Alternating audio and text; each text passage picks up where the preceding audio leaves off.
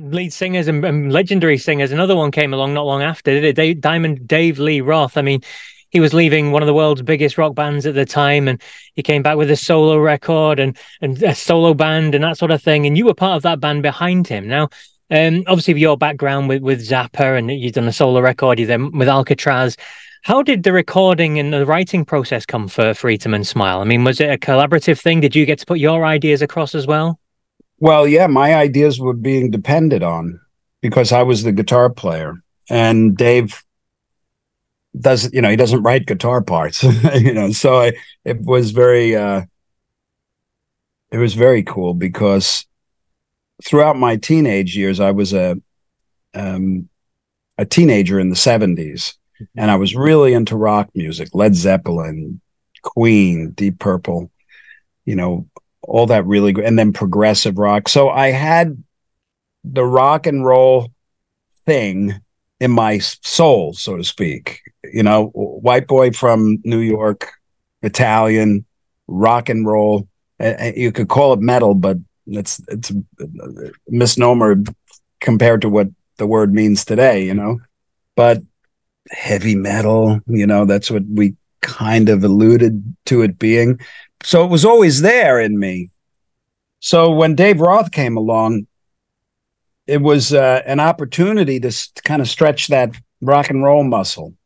And we kind of resonated well because he has an an, an obsidian. Uh, uh, he has kind of a bizarre sense of uh, quirky humor, and so do I. You know, we're, we're both kind of kooky in a way.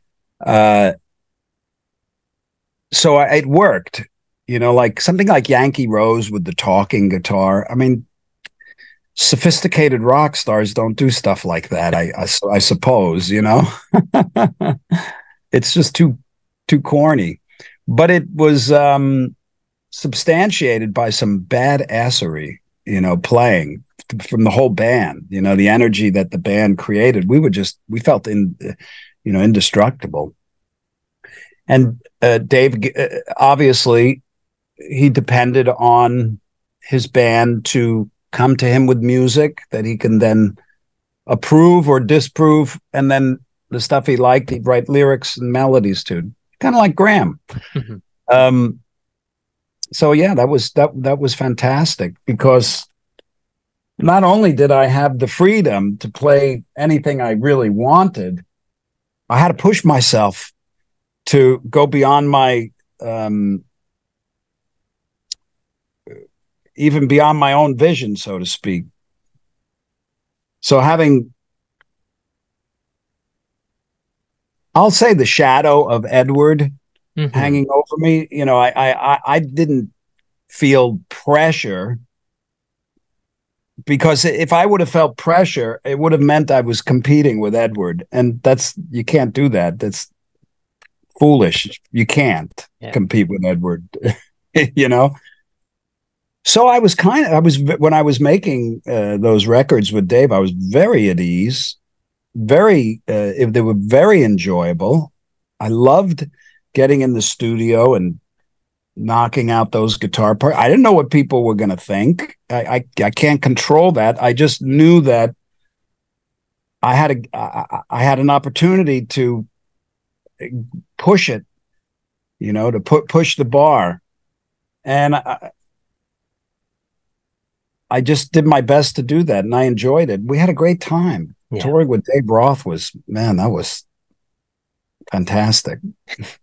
Obviously he worked with with Frank Zappa before that and Alcatrazz and things like that. But in terms of Dave Lee Roth, I mean, his his level of fame at that stage was was absolutely massive, wasn't it? And the album he worked on, Eat and Smile, was a massive commercial hit. So how did that kind of resonate with you? Was it was that something that you it sat nicely with you? The kind of big commercial success that came with all that. Well, uh, that kind of success affects people differently. Sometimes mm-hmm. you don't even realize it's happening as you're going through it at least that was the case for me.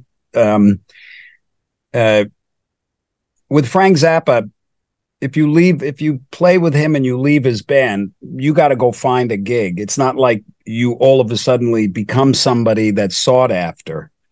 You know, you put your time in, and it's a great gig, but joining somebody like Dave Roth's band, that's different. You're now a part of a group that is a personality that fits into uh, a field where now you're known.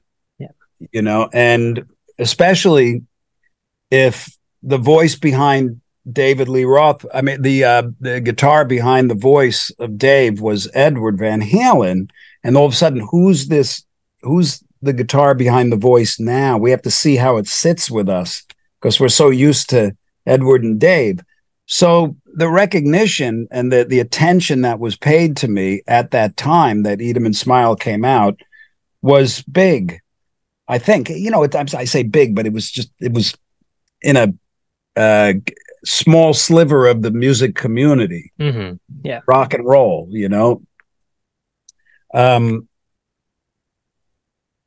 and plus we were in the basement in Dave's basement for like uh, some some maybe a year and a half, and just writing and jamming, and then finally we went to record. And during all this period, there was stuff going on in the outside world, but I wasn't a part of it. You know, I mean, as far as what was going on in the press, what was what is Dave Roth doing? Everything was kept very secret, and um, I was just going into a guy's basement and playing. And then we went into the studio and recorded. It was kind of like when I made Crossroads. I was just kind of going into the studio and filming. Yep. And then it, and then you go home and you are a normal person, and then all of a sudden it comes out and everybody sees it, and then you go out and people are like, "Hey, there you are," you know, and uh, you're like, "Well, yeah, you know, it, and then it takes an adjustment. It was an adjustment because it was it was kind of, it was interesting at first, you know, especially with Crossroads because you can make hit records till you're blue in the face, but make be in one hit movie, you know, and just have a little part and hey, there's that guy, you know, every place you go. Uh, so that took an adjustment it was fun. It, it was never my, my, fame with those bands or my recognition with those bands was never so much that I couldn't lead a normal life, you know. Mm-hmm.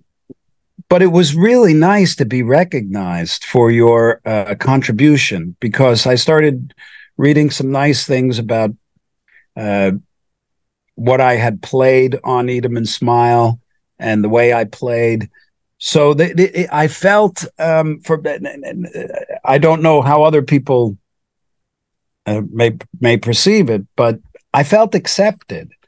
You know, I, I felt well um, supported in that role uh, with Dave because it was it could have been very precarious because Dave with Edward was so beloved by so many people.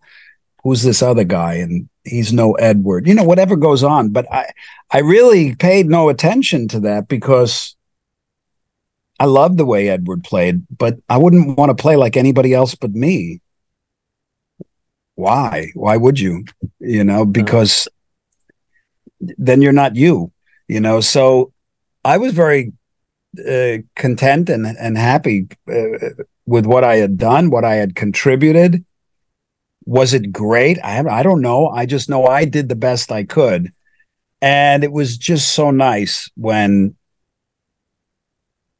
it was it, it, it was not rejected. Complete opposite, absolutely.